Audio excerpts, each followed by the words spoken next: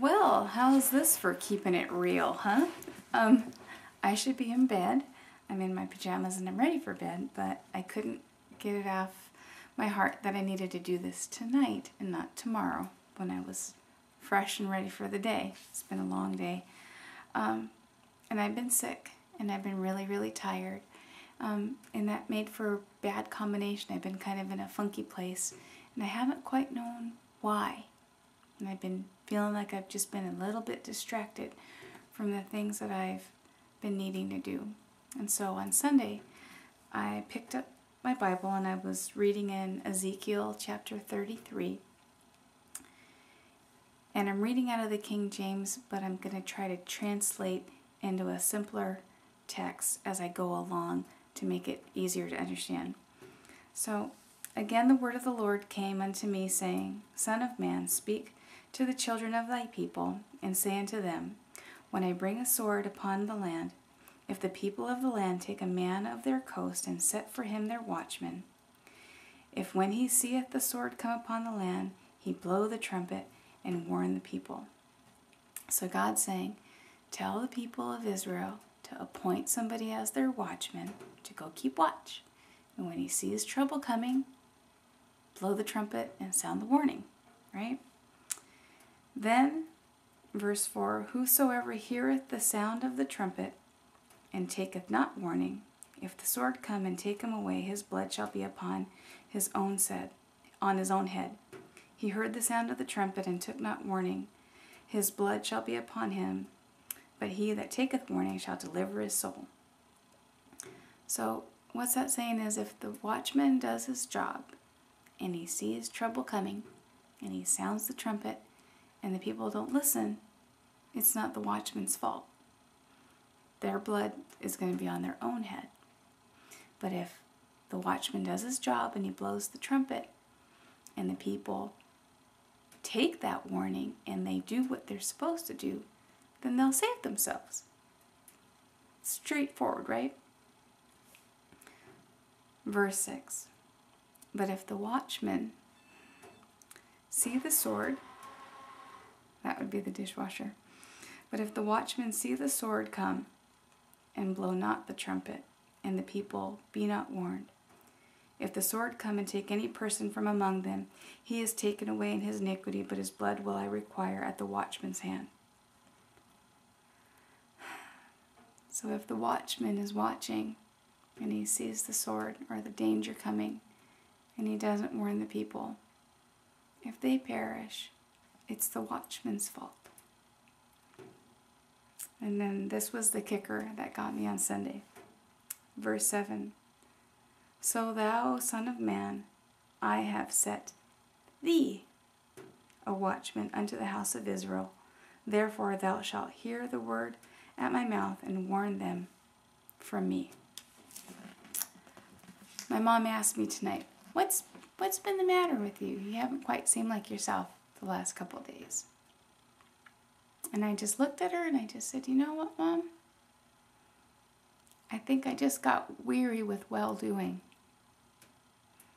Being a stay at home mom and a homeschooling stay at home mom, you do the same things day in and day out, and you say the same words, and you're trying to teach the same lessons to the same three people that you see all day long. And sometimes you just wonder is it really doing any good? Are they really listening and does it really matter? And I can sit here for an hour and knit, and at the end of that hour, I'll have a hat or a pretty good start on a scarf. And the amount of effort that I put into it has a tangible result. I can goof around on the computer and mess around with HTML code or goof around in Photoshop. And at the end of it, where there was only one sidebar, there's now two.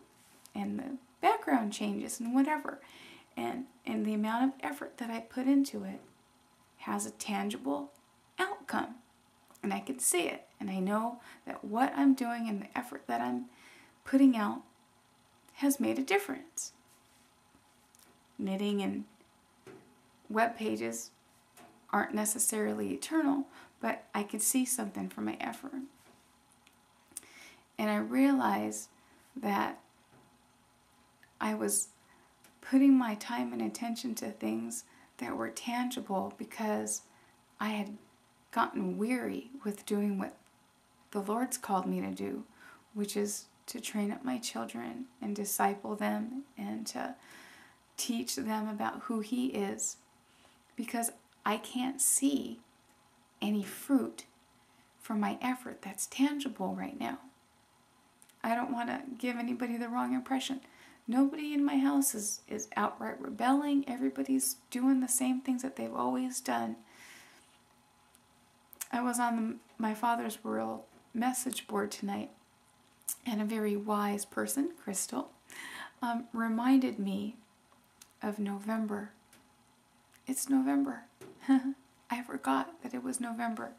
Whether you're a first time homeschooler or a veteran homeschooler or a teacher in school, there's something about November that it comes and you're you're not having the the excitement and the adrenaline rush of the beginning of the school year. You haven't quite hit the holidays and, and that excitement and parties and all that stuff and, and that that break that you get.